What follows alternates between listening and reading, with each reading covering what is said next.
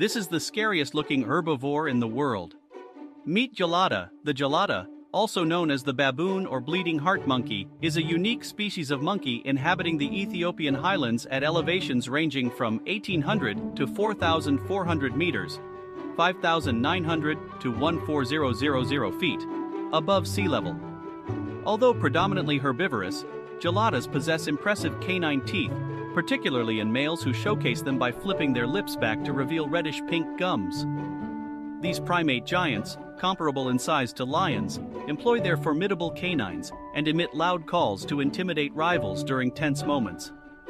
Except for humans, geladas spend most of their time seated, grazing on grass.